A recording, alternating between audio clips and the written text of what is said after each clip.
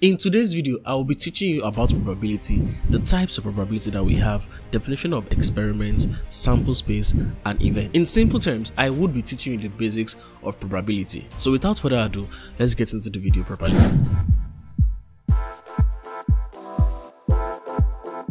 People use the word probability a lot and it is kind of synonymous to when something is actually uncertain, that is, it is not really sure or there's a chance that something is not going to happen or not. So the first question you're asking yourself is what is probability?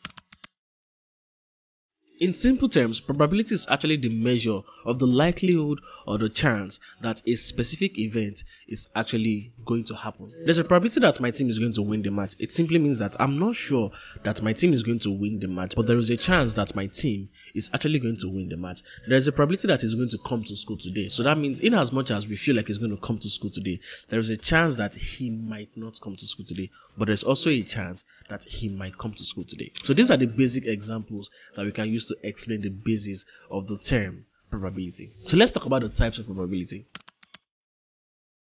Some call it approach, but I prefer to call it the types. Uh, so basically, we actually have two types of probability.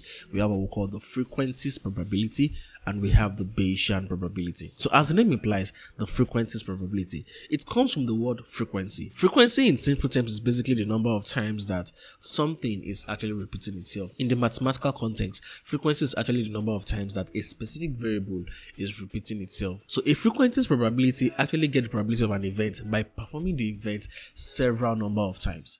For example, let's ask a frequentist what is the probability that if I roll a fair die just once, I'm going to be having a 6.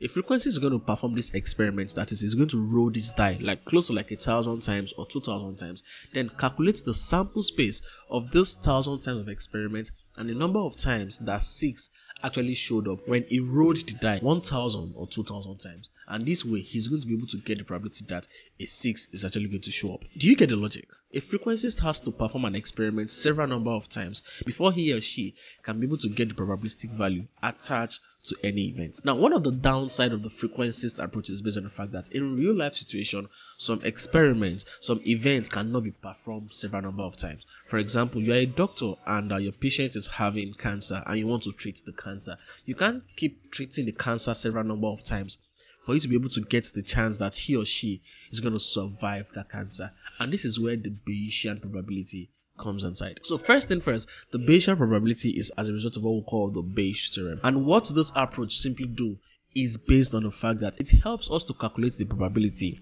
that an event is going to happen right now based on past events, based on the fact that something like this has actually occurred previously. Now you are using the details from the past events to actually get probability that this current event is going to happen or not. So in fact, the Bayes theorem is actually the best approach to probability. Take for example, a civil engineer is trying to build a bridge and is looking for the chance that the bridge is actually going to collapse or not. He has to go back to previous models of the bridge that is trying to build, try to get the probability that that same model in the past has actually collapsed or not. Then use these details to get the chance that the bridge is building right now is going to collapse or not. So for us to understand the basis of probability and understand probability properly, we have to understand some key terms and that is going to be the uh, the terms of experiment sample space and event so let's start with the definition of experiment in the world of probability, an experiment is any occurrence whose outcome is actually uncertain. That is, as far as you have an occurrence or something that is happening and you cannot predict accurately what is going to happen, that is, there's a chance that that thing might occur or it might not occur, then we actually have an experiment. Take, for example, if I decide to roll a fair die just once, we can't tell if it's going to be a 1 that will show up or a 2 that is going to show up or a 3 but you definitely know that something is going to show up between 1 down to 6. This case, rolling a die is actually an experiment. Let's take another experiment. I am a Chelsea fan, I'm a football fan, and uh, if my team is supposed to play the match, I can't tell you if my team will win or if my team is going to lose the match or the match is going to end in a draw. But I'm very sure that it's going to be either win, loss, and draw. I can't tell you. So that makes the football match an experiment. Now, the next is for us to define what a sample space is. And in simple terms, a sample space is actually the list of all the possible outcome of an experiment. So let's go back to the example of the rolling a fair die just once. So rolling a fair die just once is the experiment right here. And the list of all the possible outcomes that can show up as a result of rolling a fair die just once is actually going to be one, two, three, four, five, six. So that simply implies that the sample space of the experiment of rolling a fair die is actually equals to one, two, three, four, five, six. Please note that whenever you are trying to list out the sample space of an experiment, it is a set. So you have to enclose all of the members in a curly bracket.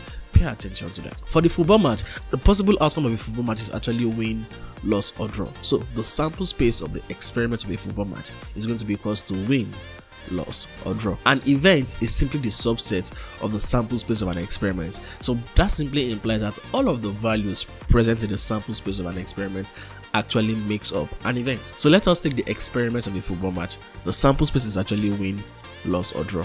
In this case, win is a subset of the sample space, so that means win is an event. Loss is a subset of the sample space, loss is also an event. The same thing with draw. If I decide to take just one event or a single event out of the sample space of the experiment of a football match, then I have what we call a simple event. So win in curly brackets is a simple event. Loss in curly brackets is a simple event. Draw in curly brackets is also a simple event. But when I decide to take two of the members in the sample space, then we have what we call a compound event. Let's take for example win comma loss now makes up a what a compound event because we have two outcomes right here. We can also say win and draw is also a compound event. Loss and draw is also a compound event. As far as there is a chance that an event is going to occur, there is also a chance that that same event is actually not going to occur.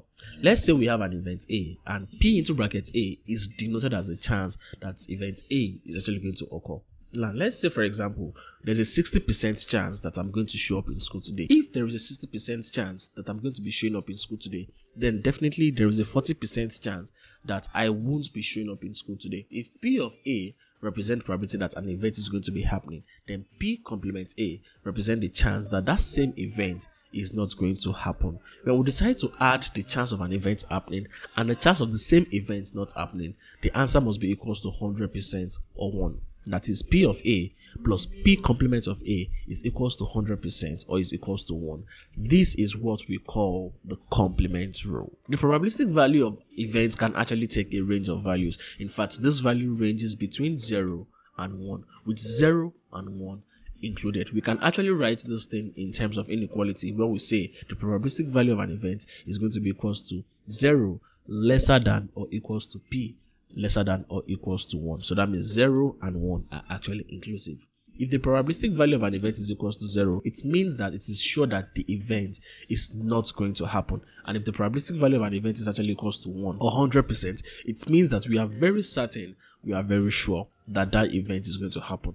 And if the probabilistic value of an event is equals to 50%, it simply implies that there's a 50% chance or a half chance that the event is going to happen and a 1 over 2 chance or a 50% chance that the same event is actually not going to happen. In our next video, I'll be talking about the concept of probability, but in a more mathematical way, meaning I'll be giving a formula for calculating the probability of an event and also the mathematics that defines some events we have in probability. Do you have a question for me or you think I actually missed something? Please go down to the comment section and actually drop your comment and question. I'll be willing to actually answer them. Do you want to learn statistics for data analysis? I actually have a playlist right here that can actually help you. Just go check it out. Thanks for making it to the end of this video and we'll see in the next one. Bye for now.